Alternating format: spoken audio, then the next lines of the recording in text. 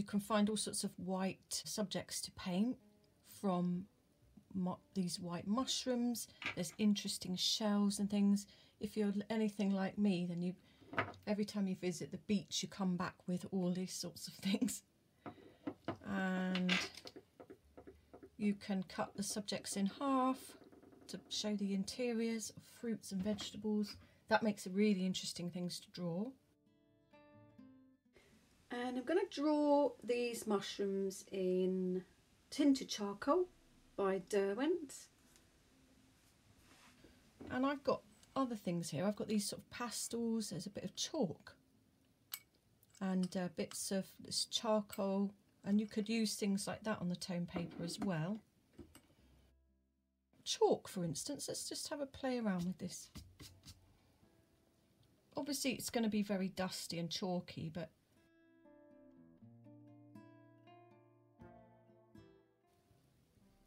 you can get that initial that initial stalk of the mushroom there. And then the body of the mushroom. Let's just try and grab this shall we?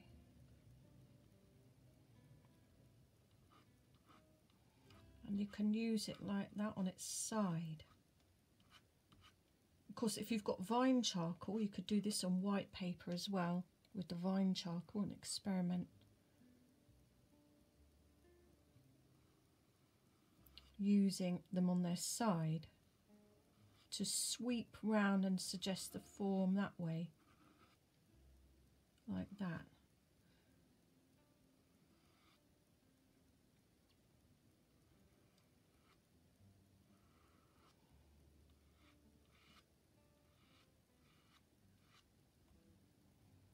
see that's giving an impression already. And um, I've got one of these colour shapers that you use for pastels and things and you can you can then actually start to sort of blend it round, not too much. And you could blend that round into the shadow side like that more. And then leave the black for the darkest area. And then this actually goes that way. So you could do that.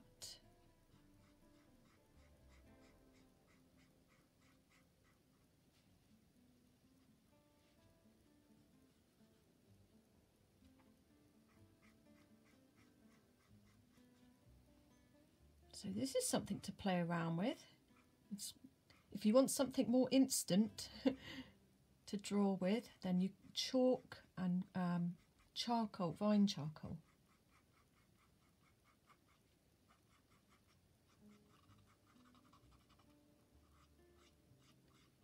And then you can blend that around to create that form.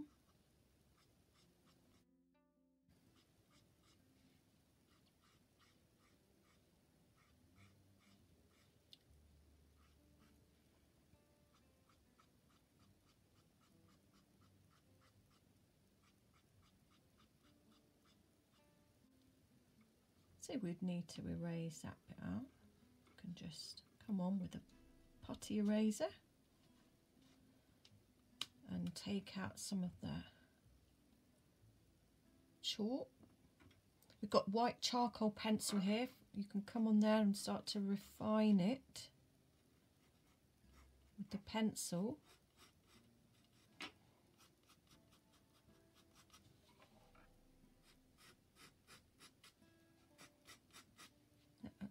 Scratches it out too. And the light is much brighter around there.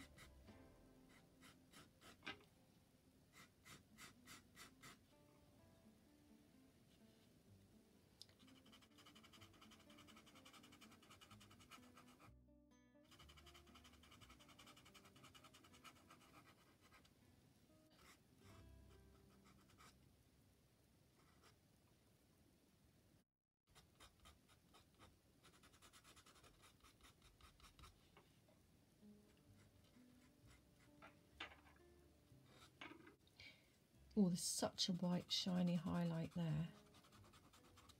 And I think we need to take that out there to get our black shadow back. Or I've lost it there.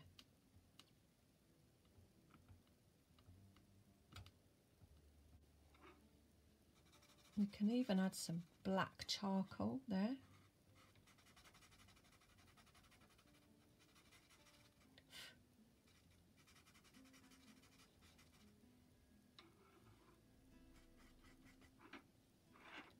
To get the darks even darker.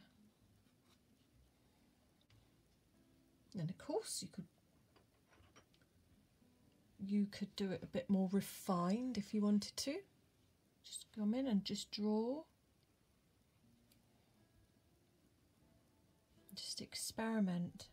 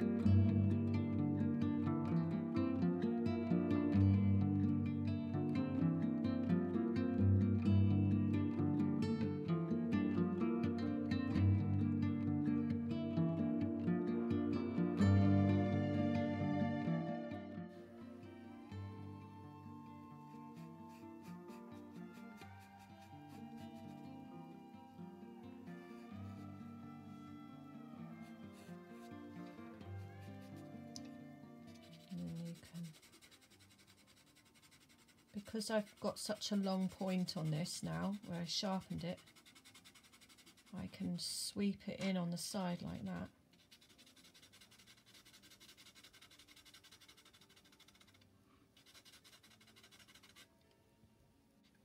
Blending it out look.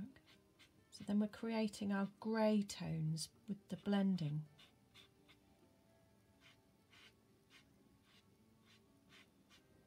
try not to lose the shadows.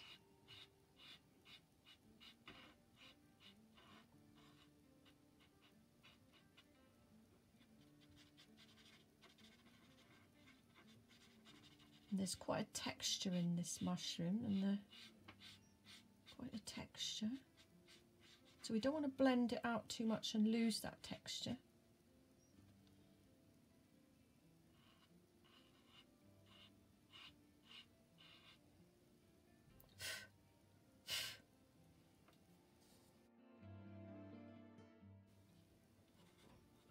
Some charcoal.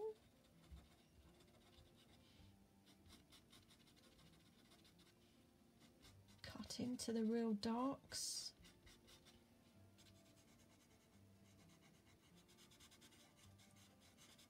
You can lose the edges, you know,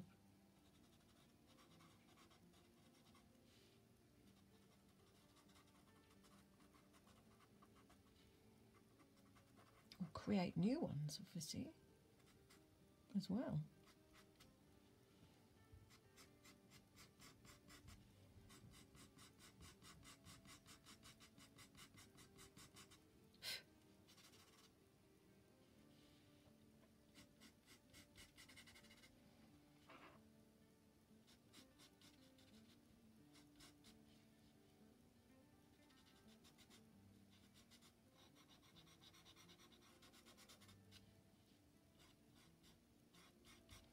And charcoal, it really is uh, expressive. Most often used for life drawing classes, I think, isn't it? But it can work well for these still lives and other subjects. So.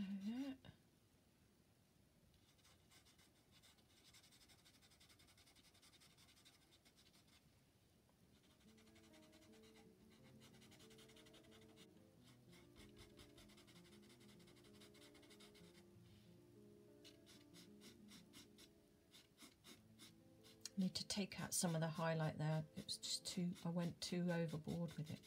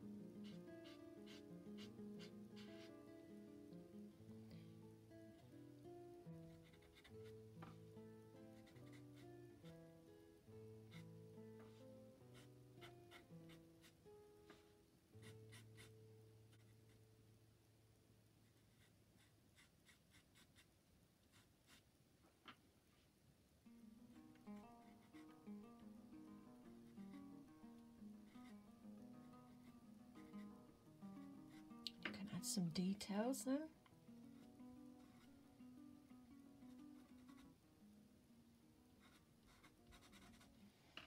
And some trying to get some really bright bright lights where I see them. Because remember always to when you start always look for the darkest darks and the lightest lights and kind of map out where they are.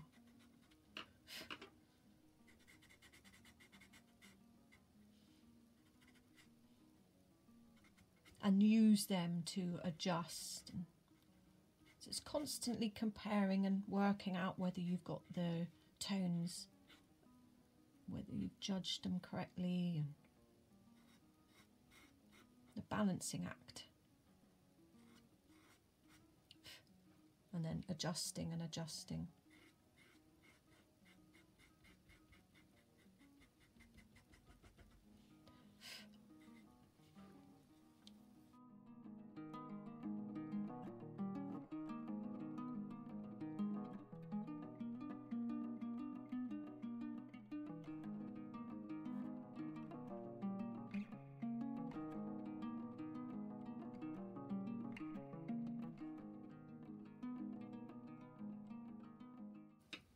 But yeah, uh, you can get to detail as well. And you, if you have a look at some artists' um, charcoal drawings, they really are quite detailed. Some of them, so you can do it.